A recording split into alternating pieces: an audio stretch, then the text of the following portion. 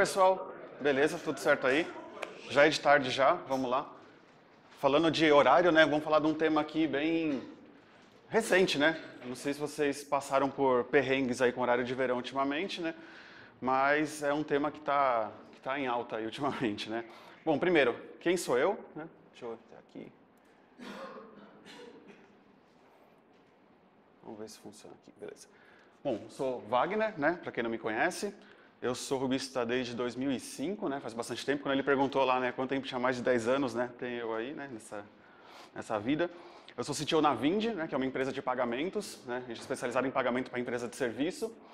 E eu tenho alguns clones lá, né? O, o pessoal até fez uma fez uma piada lá comigo no, no Halloween, né? Eles se vestiram de Wagner, né? Talvez seja a coisa que eles mais têm medo lá na Vind, né? Então não sei. Enfim, mas eu sou o de verdade, tá? Tipo, eu tô aqui, né? Especialmente esse daqui que tá aqui hoje, ele, ele, se, ele superou, olha, ele desenhou a tatuagem aqui, mas tudo bem. Pois é, tipo, e é essa posição que eu fico sempre também, então, ah, o pessoal é fogo, viu? Vamos lá. Pra, por que falar, né, de, de fuso horário, né? Assim, eu quis trazer esse assunto aqui porque eu acho que é uma, uma fonte inesgotável de sofrimento para quem desenvolve código. Tipo, toda, todo ano dá algum problema, seja com o nosso celular, seja com alguma coisa na rua, algum horário do sistema, o nosso próprio código, o código dos outros. Então, todo ano tem isso, todo ano aquela coisa, putz, ano que vem a gente dá uma olhada tal. Então, achei legal e interessante trazer a informação aqui para vocês, é, porque não precisa ser dessa forma, né? Não precisa ser assim tão sofrido, né? Trabalhar com, com fuso horário, né? Então, bom, para começar, né, vamos um pouco para os primórdios da coisa, né? Da onde que surgiu né, esse sistema de tempo, de horário que a gente usa hoje? Ele surgiu lá no século XVI, né, calendário gregoriano, que foi introduzido pelo Papa Gregório XIII, né? E ele substituiu o calendário juliano que tinha alguns defeitos lá na época, né? Resumindo, né, esse esse calendário aqui, ele é, é o que a gente conhece, né? Um ano 12 meses, um mês 28, 30, 31 dias, um dia 24 horas, uma hora 60 minutos, um minuto 60 segundos, né? E na época né, que ele foi introduzido lá pelo Papa, né, ele tinha um, um poder especial ali de forçar né, que quem não quisesse seguir o, o calendário, ele podia ser excomungado, enforcado, queimado e tudo mais, né? Então era uma forma que eles tinham de, de fazer isso acontecer, né? Mesmo assim, ele demorou 300 anos para ser implantado totalmente no mundo inteiro, né? Ainda assim, alguns países não adotaram, né? Outros, durante algum momento, é, decidiram voltar atrás. Por exemplo, a França, se não me engano, na, na época da Revolução Francesa, né? Naquela época lá de cortar cabeça tal, eles é, criaram um horário deles mesmos, né? O horário francês tal, que tinha, que era é, referente à Revolução Francesa. Não deu certo, um ano depois voltaram atrás, né? Mas fica aí essa coisa de desde o começo tinha muito essa coisa política né, do, do, do, horário, do fuso, né, essa ligação com o momento político estável do país, tal, né, é, momentos de guerra também. Então isso acaba influenciando bastante até hoje. Né? Vou mostrar um pouco para vocês depois. Né? E o sistema de fuso horário? Né? Da onde que veio isso daí? Né? Ele não existia até o século XIX, tá? não tinha nada disso. Né? E o que acontecia? Cada cidade né, tinha o seu próprio relógio central, ali, né? por exemplo, no, em cima da igreja, ou uma torre do relógio tal. E esse relógio ele era centralizado, né, sempre, ele era é, sincronizado com a sombra do meio-dia. Então, ou dava lá a sombra do meio-dia ali certinha, iam lá e ajustavam o relógio central. A partir daí, todo mundo da cidade se ajustava nesse relógio central da cidade, né? E isso, com certeza, né, tipo, não era um negócio muito preciso, né? Era bem, é, bem duvidoso, né, essa precisão, né? E o que acontecia, né? Tipo, isso obrigava, né, a pessoa, tipo, quando estava viajando de uma cidade para outra, mesmo numa distância curta, ela tinha que chegar lá e ajustar o, o relógio, né? Tipo, ela ia viajar ali coisa de uma, duas horas de charrete, né, que era o meio de transporte na época, né, chegava lá, putz, agora aqui são 5, 10, 15 minutos diferentes, né. E aí eu peguei um, uma tabela, como é que era, né, os, essa coisa de, de horário por cidade nos Estados Unidos, né. Então eles tinham uma tabela que era cada, a diferença de cada cidade comparado ao Washington, né, a capital, e as diferenças assim, tipo, putz, do, quando é meio-dia em Washington, 12:03 em Kingston, em Knoxville 11:33. Se vocês acham ruim o esquema hoje de, de uma horinha né, para cada, cada ciclo do fuso, né, imagina aqui né, que cada cidade era uma coisa. Então, era muito mais complexo. Né? E, e isso, por ser complexo e impreciso, né, é, gerava uma infinidade de problemas. Né? Só que esses problemas não eram tão graves assim, porque naquela época as pessoas não se não a, o transporte era muito infrequente, né? Então o pessoal andava de cavalo, né? Não, era lento, era raro. Então aquela coisa de chegar na cidade e ter que mudar o relógio, né? Ajustar, né? Quer dizer, o relógio não do pulso, né? Que você tirava do bolso, né? Ajustava. Era uma coisa bem mais é, infrequente, né? Só que o que aconteceu, né? A tecnologia foi evoluindo e essas viagens começaram a ser mais rápidas, mais frequentes. Então, a gente podia, na época lá, viajar de trem, né? Tipo, atravessar estados, né? em questão de algumas horas, dias, sei lá. E quando você chegava lá, tipo, não, não, a gente, era difícil de prever que horário que você ia chegar no fuso local da cidade, porque o fuso local da cidade era uma coisa que era imprecisa também. Então, incentivado pelas empresas de, de transporte ferroviário dos Estados Unidos, essas empresas começaram a buscar alguma solução para esse problema de ter cada horário num lugar diferente, totalmente impreciso, é, sem previsibilidade, né? E então foi uma das mudanças, né? Acho que tem um monte de mudança na, no nosso jeito de viver aqui que é influenciada pela tecnologia. Essa foi uma delas, né? Então, em mais ou menos aí 1878, esse engenheiro canadense aí, Sanford Fleming, ele propôs o sistema de fusos, justamente para resolver esse problema do sistema ferroviário americano, né? E o que, que, era esse sistema, né? Ele pegava o planeta, dividia em, 15, eh, em 24 partes iguais de 15 graus de longitude cada, né? Então a ideia é essa, né? Que cada bloquinho desse aqui ficasse em uma hora diferente, né? Em relação a algum zero, né? Aqui nesse, nesse mapa tem um zero aqui definido, mas quando ele definiu isso, não sabia onde seria esse zero. E aí fizeram uma conferência alguns anos depois, né? Esse povo aqui se, se reuniu numa, numa assembleia, sei lá como é que foi, e definiram né, que o zero né, do, do mundo, né, seria da, do esquema de longitude, né, desse sistema difuso, seria o, a cidade de Greenwich, na, na, Inglaterra, né, que hoje é conhecido né, como o meridiano de Greenwich tal, né. E por que, que eles escolheram essa, essa cidade? Porque já era um, já era uma, uma referência usada em mapas náuticos, manuais náuticos tal. Tinha muita diferença na época, né? Tipo, a França usava um sistema, a Inglaterra usava outro, os Estados Unidos usava outro, né? Mas por causa da colonização americana, os Estados Unidos, desculpa, a colonização inglesa, os Estados Unidos acabavam usando padrões é, ingleses, né? E por isso se definiu, né? Essa conferência foi feita nos Estados Unidos, mas se definiu que seria o meridiano de Greenwich, né? Para isso.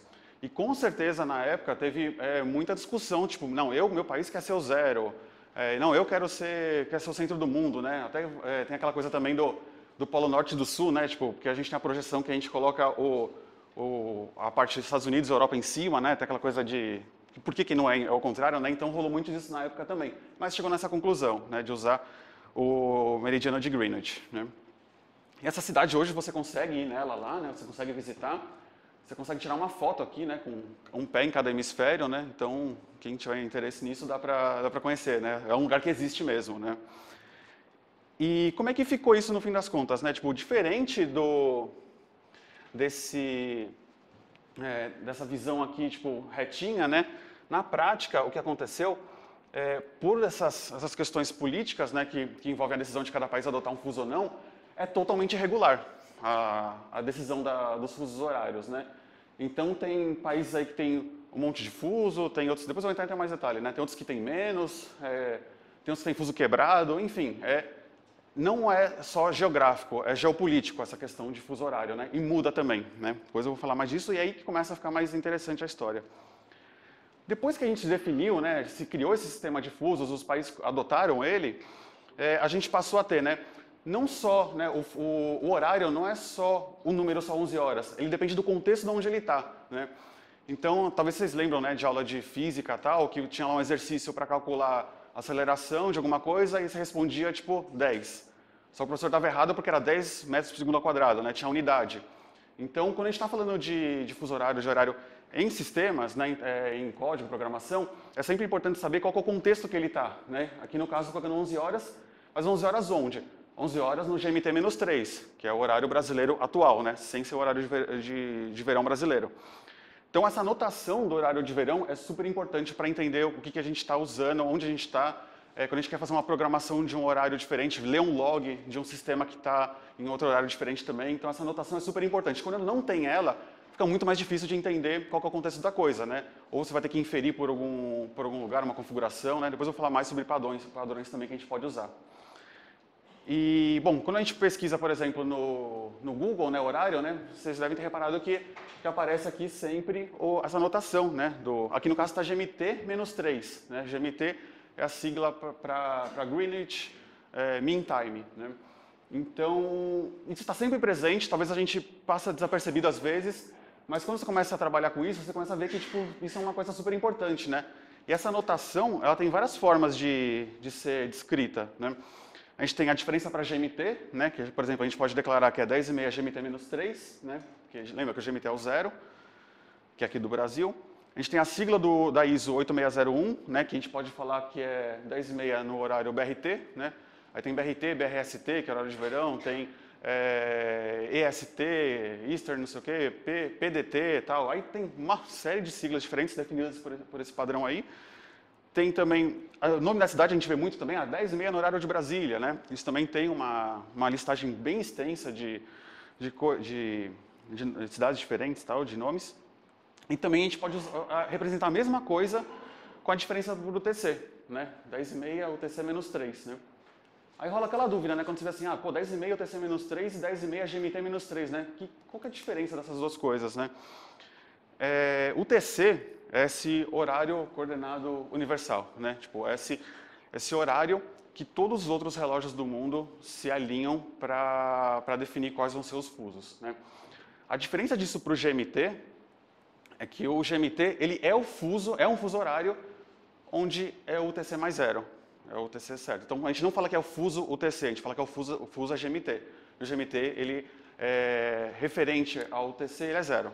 Tá? Essa é a diferença, mas na prática, eu li bastante sobre isso, né? Tipo, o pessoal com várias diferenças é, é, teóricas tal, na prática acaba sendo meio que a mesma coisa, tá? Que não me escutem falando isso, porque eu vi que o pessoal falando que não usar, mas enfim. E, bom, voltando, né, a esse mapa aqui lindo, maravilhoso, né? a gente tem uma série de, de questões aqui nele, né, que não são tão fáceis de entender, né? Porque quando a gente vê a teoria que quando foi criado, né, essa questão dos horários, né, certinho, 15 graus, 24 horas, tal, a gente vê que tem muito essa questão geopolítica, né? Por exemplo, a, a China, né? A China, ela tá, se for olhar aqui, em cinco é, fusos diferentes. Só que o Mao Tse Tung lá, lá atrás, no começo do século, ele definiu que ia ter um fuso só. A China inteira ia ter um fuso só pela pra união do, do país, para ser mais forte e tudo mais, ele definiu isso. É, a consequência disso é que a gente tem aqui cidades, aqui ou aqui na, nos extremos da China, que tem pôr do sol meio-dia. Então isso é uma coisa que acontece lá. Tem, se você procurar na internet, tem artigos falando disso e tal. Aí o pessoal tem o horário oficial e tem o horário ajeitado. Mas que não pode falar que, que tem esse horário, porque senão pode sofrer alguma consequência, né? Então é, é, é, é bem sensível esse tipo de coisa, né? comparado também com a Rússia, né? Tem 11 fusos horários diferentes, né? Tipo, tem uma infinidade ali. E tem coisas também que são assustadoras, né? Quando a gente está falando de cálculo de sistema, por exemplo, a Índia, que tem tipo fuso de 5 horas e meia para frente. Então, enquanto num país aqui do lado aqui no Paquistão é, é zero hora, aqui na China vai ser meia-noite e trinta, né? Então é uma coisa que às vezes a gente não está acostumado, está acostumado só a pulos de uma hora só. Existe isso de meia hora, né? São os países que estão aqui riscadinhos. E tem aqui aqui por volta da, da Nova Zelândia, tem é, um, umas ilhas que são 45 minutos. Então, enquanto é meia-noite aqui na parte central da Nova Zelândia, no, na outra ilha aqui vai ser meia-noite e 45, né? Isso dá um, um, bug assim na cabeça na hora de fazer conta que é bem, é bem legal, né? Eu acho bem, bem divertido esse tipo de coisa. É, outra coisa também interessante, o Polo Sul, né? Ele, em vez de ter 24 fatias pequenininhas, né? Ele não está aqui no mapa, né? Mas em vez de ele ter essas 24 fatias, se definiu, né, como lá só tem base científica, que ia ser o TC, ia ser GMT0, pronto, acabou, ficou mais fácil, né? Porque lá não tem nem conceito de dia e noite, né? Tipo, tem inverno e verão só, né? É... E outras coisa, outra coisa legal também, né, como eu falei, né, do, dos fusos, né? Não tem só hora cheia, né? Tem intervalo de meia hora, né, na Austrália, aqui na Nova Zelândia. E se fosse só isso, já seria complexo o suficiente para a gente programar em cima disso, né? O problema, né, que a gente tem um tempero adicional nessa questão do, dos fusos, né, que é o horário de verão, né, tipo, morre esses desgraçados, né, tipo, que é a coisa que dá, que dá mais é, é, emoção aí pra gente, né. Mas se a gente entender como é que funciona esse esquema de fuso horário, a gente consegue simplificar que o horário de verão, ele é simplesmente uma mudança agendada do fuso horário. Então, a gente está no fuso GMT-3 e a gente acorda que, quando chegar 23h59, do, do dia X, a gente vai ir para o fuso GMT-2. Então a gente não está voltando no tempo, não está é, torcendo o espaço-tempo, sei lá, essas coisas malucas. É simplesmente uma linha contínua e a gente trocou o fuso dela. E a representação do horário atual no fuso diferente, ele calha a ser uma hora atrás, uma hora na frente, uma coisa dessa. Né? Eu vou mostrar aqui com, com mais detalhe. Por exemplo, imagina que a gente tem aqui no dia 3 do 11 de 2018, aqui no Brasil, 23, 59 59. Quando a gente pula, né, adiciona um segundo nesse, nesse horário, o que, que vai acontecer? A gente pula para o dia 4, 11 de 2018, a uma hora da manhã. Né? Então, de novo, assim, né, a gente não está viajando no tempo, mas é simplesmente a representação diferente do fuso horário. Se vocês abrirem lá o console Ruby, Rails tal e fizerem essas, é, essas chamadinhas lá dentro para testar tipo, mais um segundo, vocês vão ver que muda o fuso horário aqui. Isso é bem legal porque a biblioteca né, já, já cuida disso é, bem. Né? É, mas tem que tomar alguns cuidados com isso. Tá? Por exemplo, quando a gente está entrando no, no, horário de verão, não existe é, zero hora nesse dia. Tá? Então, se você tem assim, tarefa agendada, tipo cron, sidekick, rescue e tal, testa isso para ver se realmente você, é, essa tarefa vai ser, vai, ser, vai ser executada. O cron, por exemplo, tem algumas implementações de cron que ele, quando, quando ele percebe que, que virou para uma hora e ele não executou algo que estava agendado para tipo meia-noite e trinta, ele vai executar é, a uma hora. É, se você tiver duas tarefas que dependem uma da, da, execução da outra, pode ser que você tenha as duas executando ao mesmo tempo, tipo uma meia-noite, outra meia-noite e quinze, né?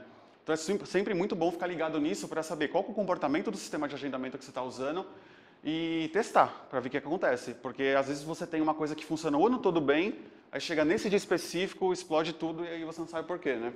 Então é bem interessante dar uma olhada nesse, nesse tipo de coisa, testar, né? Antes de acontecer. Outra coisa também importante, né? Esse dia contém 23 horas de duração, tá? Se você tem cálculo que usa 24 horas hard-coded para tipo, tirar uma média de vendas por dia, é, quantidade de requisições, qualquer tipo de métrica que você está usando média e 24 horas, ou contas de somar e subtrair horas de dia, lembra que tipo, existem dias com 23 horas, tá? Isso é bem, é bem é, chato né, de, de, cuidar. Isso é a entrada do horário de verão, né? A saída, né, quando a gente sai do, do horário de verão, a gente está lá, por exemplo, no dia 16 de 2 de 2019, né, que foi o, a vez que a gente saiu aqui, 23, 59, 59, GMT-2, e a gente mais um segundo, a gente pula, a gente continua no dia 16, 23 horas, só que GMT menos 3. Aí fica aquela impressão assim, tipo, pô, será que a gente voltou no tempo tal? Não, é uma linha contínua, então a gente tem 23 horas e 30 GMT menos 2 e a gente tem 23 horas e 30 GMT menos 3, tá? Uma, uma seguida da outra, não estamos voltando no tempo. Lógico, depende muito da implementação dos sistemas que estiverem tratando isso, né? Eu já vi log, por exemplo, é, gráfico no, no Kibana, né, de requisições. Quando bateu isso, ele não sabia que continuava, que eram duas, que eram duas 23 horas diferentes. Ele achava que era uma só e ele duplicou as requisições, porque ele somou tudo na mesma, na view, né. Então, a gente só descobre isso testando mesmo, vendo, ou vendo quando acontece, né, que daí é o pior cenário. Aqui, outras coisas podem acontecer que são, que são, tem que tomar cuidado, né. Tarefas agendadas no final do dia podem ser executadas duas vezes. De novo, depende da implementação do sistema de agendamento que você estiver usando. Sidekick, cron, rescue, sei lá, qualquer outra coisa, tá? Então, tomar cuidado com isso. E também, né, esse dia aqui tem 25 horas né, de diferença, o dia 16, não tem 24. Aí, uma coisa que é muito comum também, né, até dei um exemplo em código aqui, imagina que a gente tem aqui uma, uma data, né, 16 de 2 de 2019, e adiciona 24 horas. Que é uma conta, você fala, pô, relativamente comum né, de, se, de se fazer num sistema. Você quer calcular o próximo dia, fazer alguma uma coisa dessa. Ele vai dar 23 horas do mesmo dia. E se você ficar fazendo 24 horas em cima disso, você vai estar vai estar seu horário errado. Né? Você não vai estar no dia que você quer. Né? Diferente se você usar, em vez de mais 24 horas, usar one day, né? Aí sim você tem a data correta que você vai chegar no, é, onde você quer, né? que é na zero hora do próximo dia. Então, não necessariamente o dia tem 24 horas, tá? Tem, tem, a gente tem que lembrar disso quando a gente estiver programando. Né? Algumas curiosidades também sobre, sobre isso, né, para nossa alegria aqui, né. Nem todos os países adotam horário de verão e usam 00 como ponto de virada igual ao Brasil, tá? O Brasil, a gente chega lá no 23,59, 59, pega e pula para uma hora ou, ou, ou volta para outra, né. É, isso é bem, é bem específico do Brasil, particularmente, particularmente eu acho que isso gera mais problema, tá, fazer dessa forma. Eu prefiro soluções como de, de outros países que fazem essa virada duas da manhã. Então, o dia virou, e aí tem essa mudança do horário. Não no Brasil que tipo, você corre o risco de, tipo, de um sistema falhar e você achar que está num dia, mas está no outro tal, e aí você tem alguma coisa que depende daquele dia para acontecer, né? Por exemplo, no nosso caso da 20, que a gente cuida de assinatura de plano, né? O vencimento de um plano de um cliente, a data de cobrança de alguma coisa. Então, mas tem países que fazem isso aí. Então não dá para padronizar simplesmente no sistema achando que vai ser sempre zero hora, né? Outros países ainda, mais na União Europeia, eles fazem a virada de acordo com o horário TC. Então é diferente, pode ser a qualquer hora do dia, dependendo do país, né? vai, eles vão alinhar ali com, com a zero TC. Depende, tá? Cada país vai ter um, um jeito, e essas regras mudam, né? Mudam o tempo todo. É, aí tem uma coisa curiosa, né? Que tem um contexto, como eu falei, né? Tipo, político, assim, da coisa, né? E a gente sabe que, que essas questões políticas, elas variam, elas têm é, muita influência, né? De vários atores aí no, no cenário, né? E é complexo isso, né? Porque qual é a ideia do horário de verão? É que a gente é, estenda né, uma hora, é, adiante o relógio uma hora, para aproveitar mais a luz solar do dia e economizar energia. Né? Essa que é, a, que é a ideia. Né? Aí tem muito estudo científico dizendo que, que sim, que beneficia, que não, que não, que não economiza nada. Outros que falam que o, o a, a dor que dá no relógio biológico da pessoa é imensa. Enfim, tem vários estudos fazendo. Mas o problema é que quando a gente leva isso para uma decisão que não é baseada em, em fatos, em dados e ciência, acaba sendo tipo, ah, eu não gosto disso, eu acho isso que é contra os meus princípios ou não. É um problemão. Mas assim, o problema é que a gente, né, a gente como pessoa que escreve código, a gente está nesse contexto. Então a gente tem que entender como é que isso funciona, né? É, existem, né, tipo, é, algumas bases de dados que tentam atualizar essas mudanças, né? Não só a alteração do horário de verão programado, mas a alteração nas programações também, né? Mas mesmo assim, tipo, dependendo da decisão que é tomada, isso afeta a vida de muita gente, né? Por exemplo, agora há pouco, né? Tipo, vocês viram um monte de notícia, né? Que o celular adiantou, né? Vocês devem ter passado por isso também, né? E não foi porque aconteceu horário de, de verão, foi porque não aconteceu, né? Estava programado, só que teve um decreto tirando ele. Só que as bases não foram atualizadas, né? Vou falar mais de base também. E, né, teve até o pessoal do, do, Enem também. Pelo menos eles chegaram mais cedo no Enem, né? Não se atrasaram. Se tivesse atrasado, seria, putz, seria uma tragédia, né? E outra complexidade que tem também nessa coisa de horário, tal, de, de fuso horário, tem o, o segundo bissexto.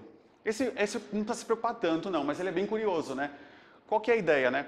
A gente tem o ano bissexto, que tem um dia a mais para compensar ali a movimentação solar. O segundo bissexto, ele não é regular como o ano bissexto. Ele é regular, ele serve justamente para alinhar é, as irregularidades da rotação da Terra e ajustar um segundo a cada X anos, varia, tá? O pessoal que fica, fica monitorando isso, e adiciona um segundo no dia 31 de dezembro de, do ano que estiver acontecendo isso, né? Então, a última vez que aconteceu isso foi 31 de 12 de 2016. Então, você estava lá, né, na, na, de boa ali, 23, 59, 59, e ia virar o ano, o que acontecia? Acontecia essa coisa aqui, para mim, é bizarra. Você ia para 23, 59 60. Isso é oficial, isso dentro do, do pessoal que regula é, horário tal da, da comunidade científica, é, é isso, está certo, é isso mesmo esse, esse número existe, né?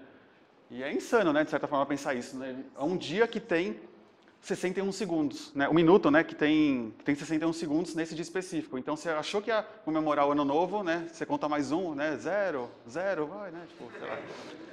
E foi. Mas assim, isso não tem tanto impacto quanto o Hora também, né? Aí o que, que, que, algumas empresas fazem, né? Tipo, nesse, nesse ano que, que aconteceu isso, né? A Amazon e o Google, por exemplo, estou falando de, de empresas de infraestrutura cloud, né? Eles retardaram o clock dos servidores ao longo do dia é, para distribuir esse um segundo ao longo do dia e não ter diferença perceptível para não acontecer isso, né? Porque se a hora de verão o sistema já se perde, imagina um, um sistema operacional que tem que fazer isso. Não faz, né? Tipo, o negócio frita. Então, aqui, Amazon e Google fizeram isso daqui, né? Distribuíram para ficar certinho.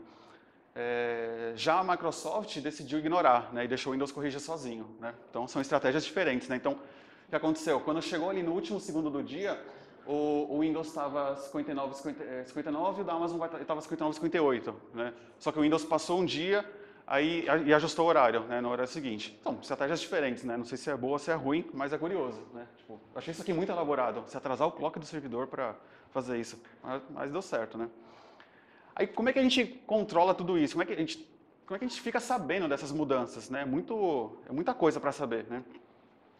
Tem uma, uma, um banco de dados, né, que é o que é STZ Data, né, que é um banco de mudanças de fuso, uma compilação, é um compilado também das regras que estão valendo agora, das regras que já aconteceram, Porque às vezes é muito importante também a gente calcular alguma data no passado e saber quando que era o fuso lá atrás, né? E também, às vezes é importante saber como que vai ser o fuso daqui para frente, como é que está a programação, né?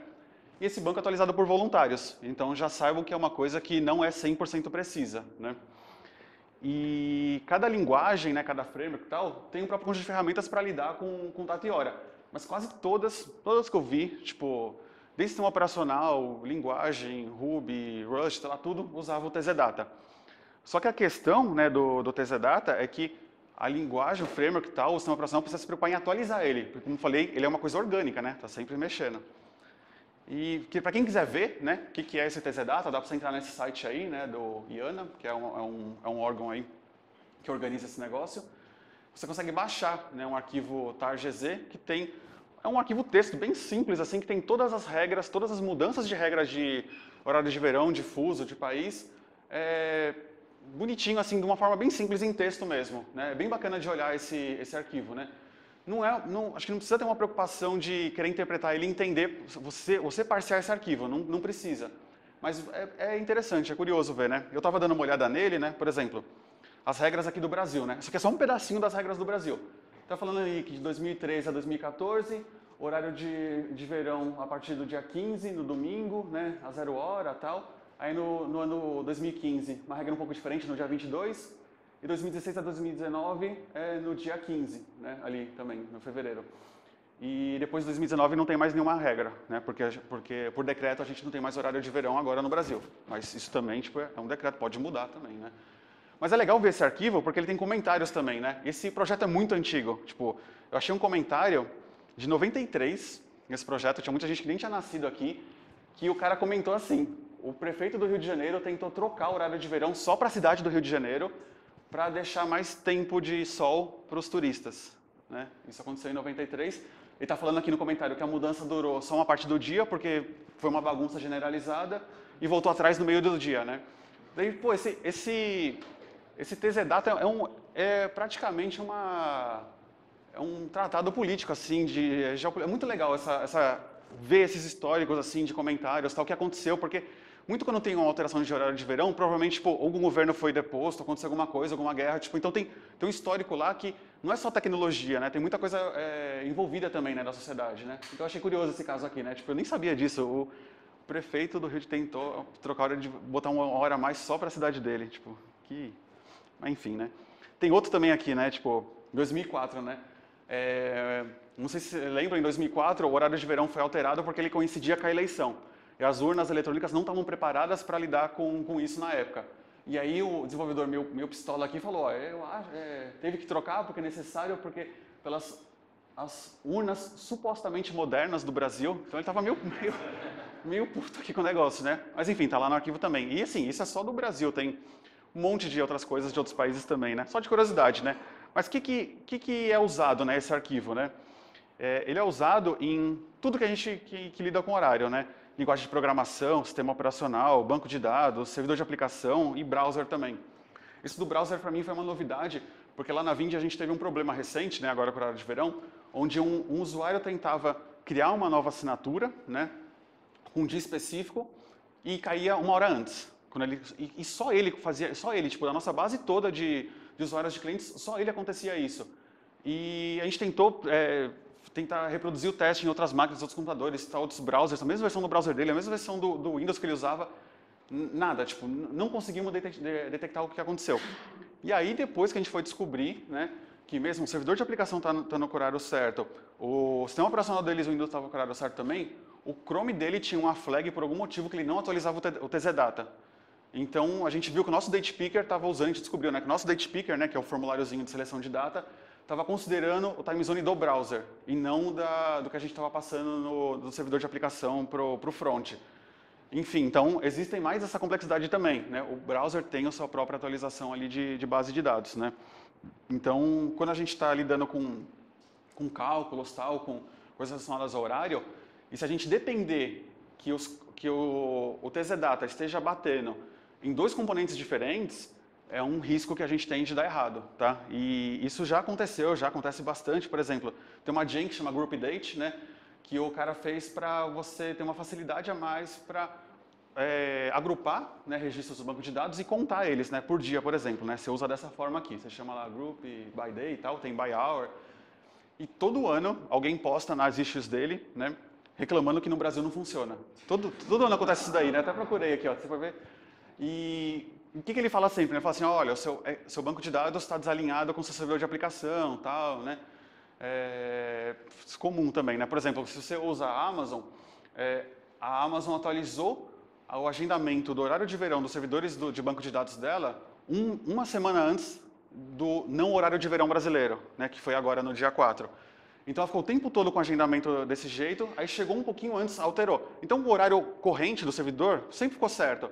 Só que coisas que usavam datas agendadas, estava tudo errado. Né? Então esse é um risco que a gente tem de ter, de ter essas coisas diferentes. Né? É, e aí, sim, como evitar problemas com isso? Né? Tipo, acho que a primeira coisa é entender que contexto que a gente está, né? O que é esse troço que a gente está lidando de fuso horário, né? O que é esse menos 3, menos 2, mais 2 e tal? Acho que eu consegui explicar isso para vocês, né? De onde que veio e tal, eu consegui explicar um pouco do, do racional disso, né? Mas como é que a gente evita os problemas com isso, né? Uma recomendação, né, que se vê direto pela internet, né, é manter servidor em UTC. Então, nada de botar servidor tipo, em horário do Brasil, horário de não sei onde, horário no país tal. Usa UTC, porque ele não tem alterações de, de horário, né? não tem horário de verão, não tem nada, usa, usa o TC, né? E renderiza o horário para o cliente no fuso dele, né? Aí tem essa questão do fuso do browser, né? Que eu falei que deu, que deu cagada, né? Pode ser ou no fuso do browser, que muita aplicação faz isso também, né? O Facebook faz isso, renderiza conforme o fuso do cliente. Ou aquelas aplicações que renderizam via back-end, que daí você vai lá no, nas suas opções de usuário e você seleciona lá qual é o seu fuso, né? Então tem essas opções também, mas é, o que eu acho mais interessante é sempre é, manter os servidores em UTC. E não só é, manter eles, como persistir horários em UTC também. Tudo fica mais fácil quando a gente tem um ponto único que não precisa ficar discutindo, ah, isso aqui está no horário do Brasil ou está no horário não sei o quê. Tipo, não, está sempre no horário UTC, se tiver persistido. Né?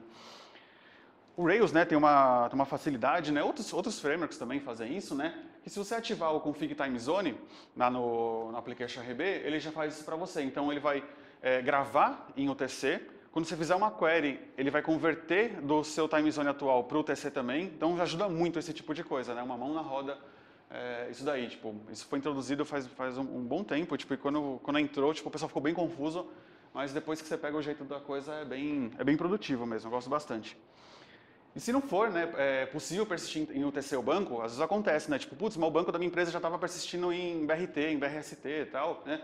Grava o fuso atual num campo separado, né? Tipo, Coloca ali um campinho ali do lado, tipo, é, sei lá, time zone, e, e, joga lá também qual é o fuso que foi usado. Porque se você tiver um problema né, de uma, um TZ data que não está atualizado, tiver que corrigir isso daí, esse fuso que foi usado na hora vai ser muito útil, porque senão vai depender completamente do contexto da configuração dos servidores no momento que deu problema. Então isso aqui ajuda muito, tá? Se precisar fazer. Outra coisa também que, que ajuda, né? Teste, né, previamente mudanças de horário de verão e não mudanças também. Né? Isso foi o que, o que eu mais sofri na, na, última vez, né? porque a gente não teve o horário de verão, só que estava programado para acontecer. Então isso gerou muito problema também. Então teste mudanças e não mudanças, mudanças que estariam programadas que foram é, descartadas, né? Em tudo que for sensível de data e hora, tá? Isso é bem importante. Verifica a atualização do TZ Data em todos os componentes da infra, se for possível, tá? Então, não só no servidor de aplicação, vê, tenta ver no banco de dados também, tenta ver se, sei lá, se consegue pegar do browser do cliente, tipo, é, porque mesmo quando sai um decreto, por exemplo, que aconteceu no Brasil, né, foi em abril, né, que saiu um decreto cancelando. Até isso ser atualizado no TZ Data demora um tempo. Né? Enquanto isso, você está usando esse agendamento errado. É, e aí, quando chega na data, você vai ver que, tipo, mesmo estando o TZ Data atualizado naquele momento, o agendamento que você fez lá atrás estava errado. Né? Então, é, entender isso daí, como é que isso é atualizado, sempre quando tiver esses momentos de troca também, dá uma olhada nisso para ver se a gente está tá usando os dados mais atualizados. Tá?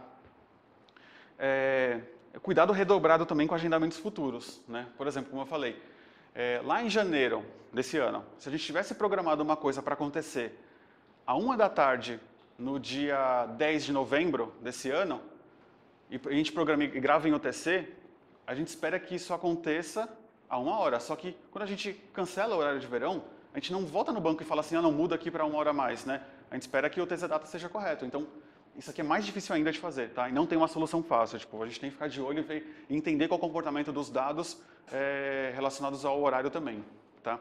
Assim, isso foi um, um resumo, assim, acho que de boas práticas, tá? Tem muito conteúdo é, na própria biblioteca, do, na própria documentação do Rails também sobre lidar com time zone. Tem é, métodos que o pessoal recomenda mais, tem funções específicas, mas eu achei legal aqui falar um pouco não só do como, como programar isso, mas entender o que vem atrás né, de é, conceitos, porque daí em qualquer linguagem que você estiver mexendo, você vai estar isso na cabeça, vai te ajudar muito. Né?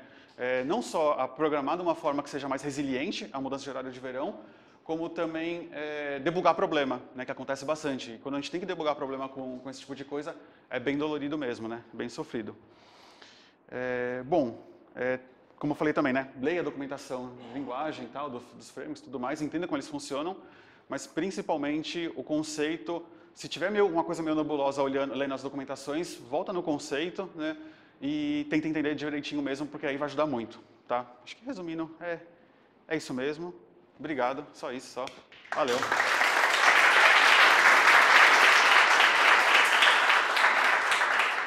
Alguma dúvida, alguma coisa que não ficou clara aí e tal? Posso ajudar vocês? Não? Não? Falei. Eu, eu, foi, foi isso agora, tipo, eu quis chorar.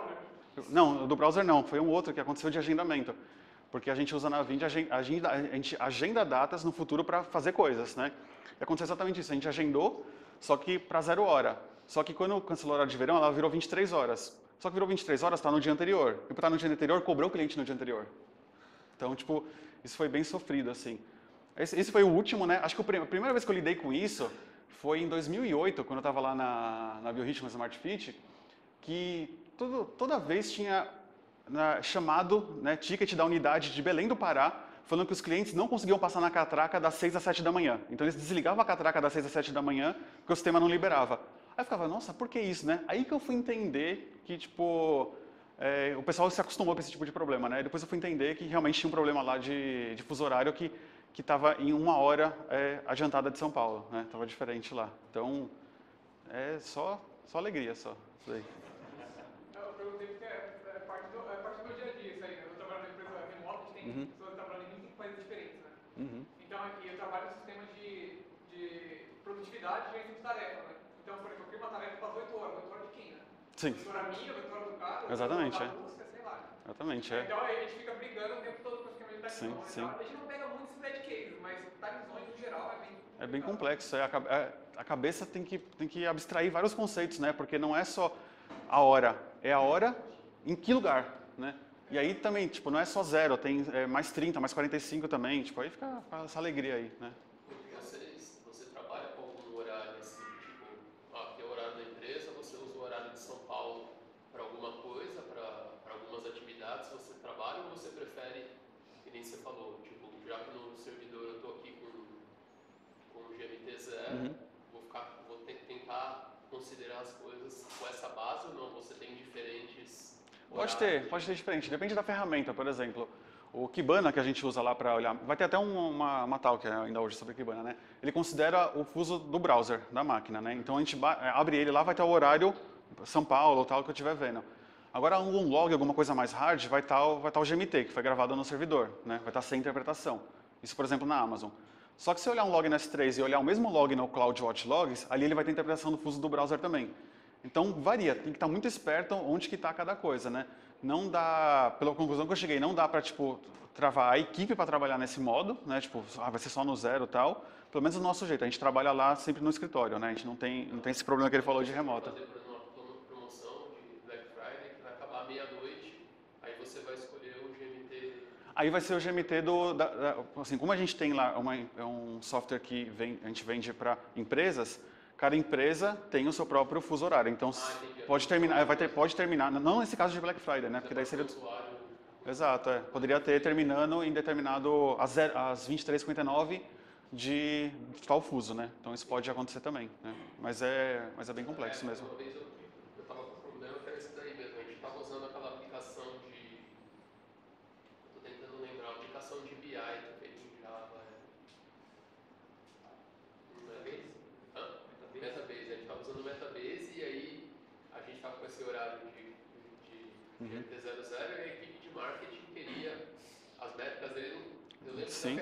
Porque senão, porque as, ven- é, as vendas depois das 9 horas caem para outro dia, é, né? Eles usavam SQL, É. eles tinham uma gráficos usavam Uhum. o time zone da aplicação, mas o- as coisas de SQL não estavam com a coisa do banco. Daí É. eu falei para eles, ó, vocês têm que mudar a query de vocês para a query que você gerar, você colocar a ponta do time zone na query. Uhum. SQL eu falei, se você quiser, a gente muda a query. Mas eu não tenho como alterar o banco de dados, que era uma É. técnica do banco de produção, Uhum. Para eu alterar o GNT para ficar É, nem- é, não, nem faz. metas do jeito que você quer. Ele faz isso. O melhor mesmo é usar a função de banco de dados que converte É, pro, pro horário. Tipo, porque se você falar pro, pro- Ainda mais um pessoal do marketing, né? Ah, não, bota menos dois aí, aí tem horário de verão que é menos três, aí não tem mais. Ele nem vai saber o que ele está fazendo, né? Usar a função é um pouco melhor, né? E o Metabase também, tem- a gente usa lá também. É, você escolhe qual é o horário que ele renderiza. O, o negócio. sim, é você não escolhe o que você. É, o que você insere, você não escolhe, mas o que você renderiza, escolhe. Aí o que acontece? O- Às vezes o pessoal coloca. É, converte o horário no, no select, só que o Metabase também vai converter de novo. Aí fica com seis horas de diferença. Tipo, é, é legal isso daí, bem curioso. Beleza, é isso então. Meus contatos estão aqui. Ah, pode falar, desculpa aí. Não, é só mais uma experiência mesmo? Uhum. Porque, da- dada a importância de você gravar as coisas no GMT zero. Uhum, É, mesmo a gente aqui na Nova Avenida, teve um belo dia que a gente descobriu que a gente ia ser internacional. uhum. A partir desse momento, você tem dois grandes problemas, né? Tempo e tradução. Exatamente. São as duas coisas que mais pegam Uhum. Mas é até para, porque usando essas boas práticas é importante até quando você for internacionalizar. Você vai ter, sei lá, menos problemas com isso. Sim, sim. não É, se você está sempre baseado no zero, né? Fazer a conta é muito mais simples, até Uhum. enxergar o erro é muito mais simples do que você estar fazendo assim. É. Até eu acho mesmo que mesmo se não for internacionalizar também, eu acho interessante seguir isso daqui, porque nossa infra que a gente subir vai estar em, em cloud no mundo inteiro. E aí você vai lá no servidor, trocar o horário, aí ele não vai ter o DZ Data atualizado também, tipo, vai ser um bololo todo que desde que eu comecei a ter problema com isso, eu comecei a colocar em UTC 0 mesmo, tipo, então é uma recomendação, acho que vale para todo mundo, sendo internacional ou não. Sim, ambos, é, ambos, exatamente. Beleza, então é isso, meus contatos aí, qualquer coisa só, só falar, se quiser conversar depois, tá? Valeu, obrigado aí, viu?